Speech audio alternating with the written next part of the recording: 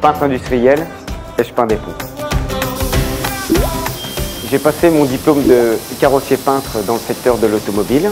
Donc j'ai bossé 4-5 ans dans un garage et j'ai eu envie de découvrir le monde de l'industrie. Aujourd'hui, je peins des pompes. Les techniques d'application sont très variées. Ça change tous les jours et ça me plaît beaucoup. L'expérience la plus enrichissante, c'est de partager mon savoir-faire avec les nouveaux arrivants. Oui, euh, ça recrute dans le métier, c'est vrai que parce qu'aujourd'hui, c'est très compliqué de trouver des peintres industriels.